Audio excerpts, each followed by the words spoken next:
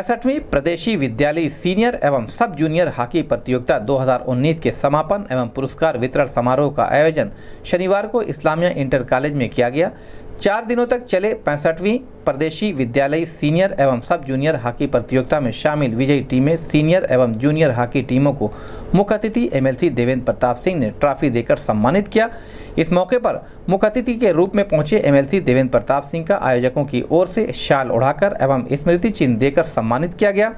खिलाड़ियों को एमएलसी देवेंद्र प्रताप सिंह ने संबोधित किया। इस मौके पर आयोजक एवं मियाँ साहब इस्लामिया इंटर कॉलेज के प्रधानाचार्य ज़फ़र अहमद खां, प्रबंधक राशिद कमाल सामानी सहित विद्यालय के शिक्षक एवं हॉकी खिलाड़ी मौजूद रहे। इस संबंध में गोरखपुर न्यूज़ से बात करते हुए आयोजक एवं मियाँ साहब इस्लामिया इंटर कॉलेज के प्रधानाचार्य सफ़र अहमद खान ने कहा।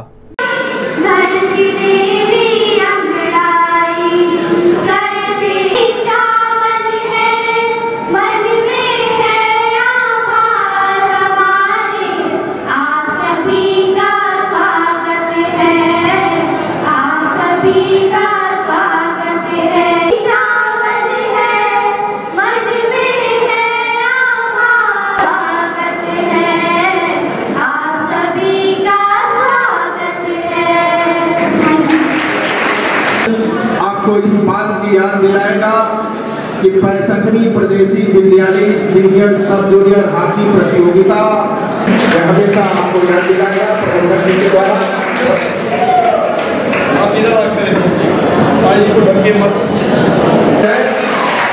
मुख्य अतिथि का सम्मान प्रदेश अध्यक्ष है। अवगत के द्वारा इनका सम्मान किया जा रहा है। प्रबंधक जी स्वागत साथ अब तक चार दिनों की जो प्रतियोगिता रही उस प्रतियोगिता की आख्या में यदि व्यक्ति संकल्प ले तो हिमालय को जीत सकता है अंतरिक्ष को जीत सकता है इसलिए आज का अवसर पर सिर्फ़ इतना कहना चाहूँगा कि आपकी पूरा हमारा जो सामाजिक जीवन है वो चुनौतीपूर्ण है प्रतिस्पर्धा का युग है जीवन के हर क्षेत्र में प्रतिस्पर्धा आपको आगे बढ़ने के लिए प्रेरित करती है परिस्थितियों से जूझने की इच्छा शक्ति आप में विकसित होती है निरंतर एवरेस्ट जैसे सफलता की ऊंचाइयों पर आप पहुँचे आप में ऐसे सामर्थ्य का विकास हो इन्हीं शुभकामनाओं के साथ मैं सभी प्रतिभागी टीमों के खिलाड़ियों को बधाई देता हूँ और सदैव आगे बढ़ने की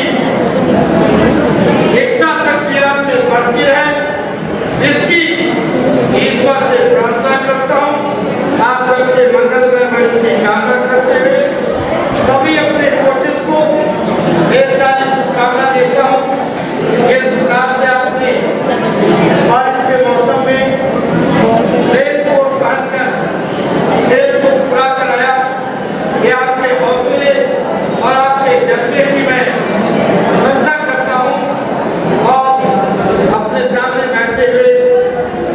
बच्चे और बच्चियों से कहना चाहता हूँ आप देश के भविष्य और आपका भविष्य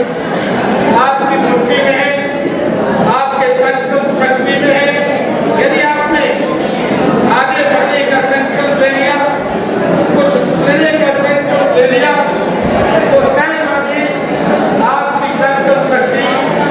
आपके सफलता का माध्यम बनेगी इन्हीं शुभकामनाओं के साथ पूरे परिवार को ढेर सारी बधाई बहुत बहुत धन्यवाद उत्साह प्रदान करें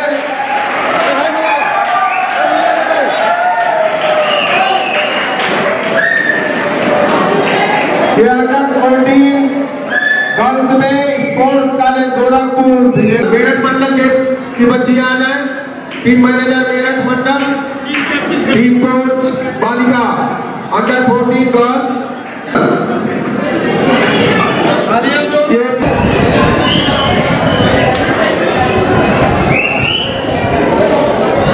स्थान पर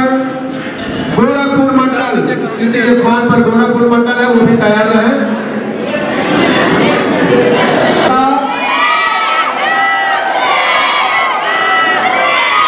श्रीमती फिरोजा जी द्वारा पुरस्कृत किया जाना है।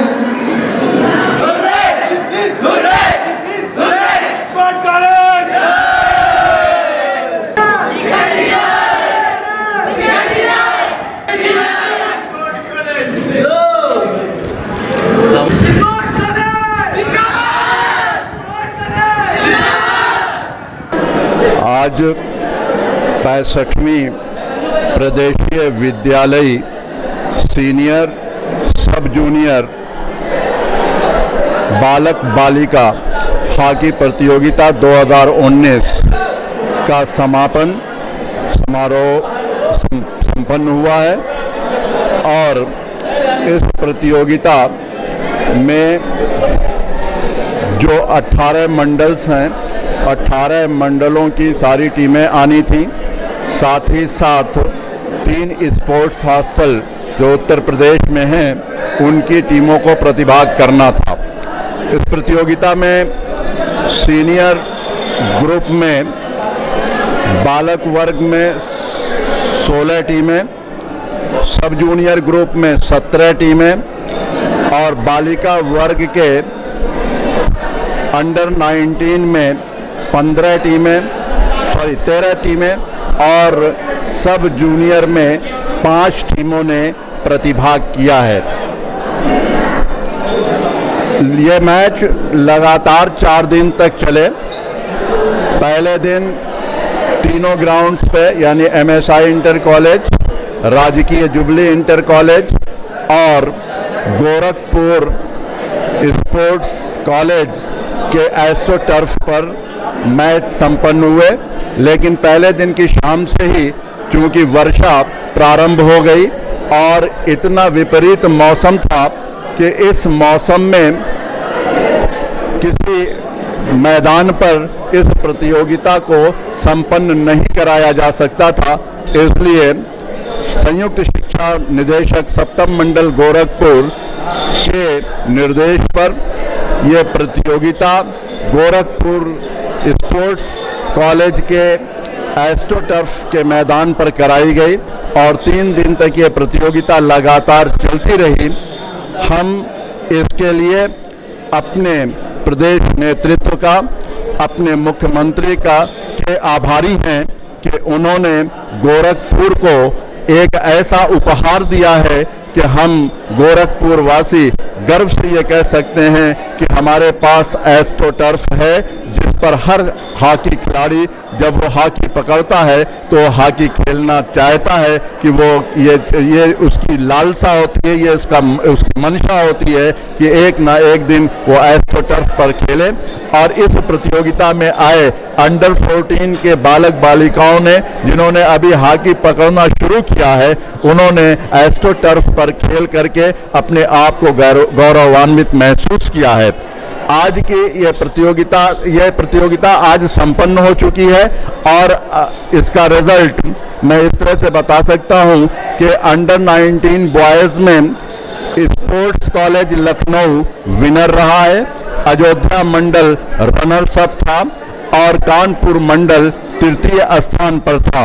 इसी तरह से अंडर 19 गर्ल्स में लखनऊ मंडल स्पोर्ट्स कॉलेज लखनऊ प्रथम स्थान पर था स्पोर्ट्स कॉलेज गोरखपुर, द्वितीय स्थान पर था और बनारस मंडल तृतीय स्थान पर था। अंडर 14 यानी सब जूनियर बॉयज़ में स्पोर्ट्स कॉलेज लखनऊ प्रथम स्थान पर है, अयोध्या मंडल द्वितीय स्थान पर है और गोरखपुर मंडल तृतीय स्थान पर है। अंडर 14 गर्ल्स में स्पोर्ट्स कॉलेज गोरखपुर प्रथम मिर्जापुर मंडल द्वितीय और मेरठ मंडल तृतीय स्थान पर रहा है।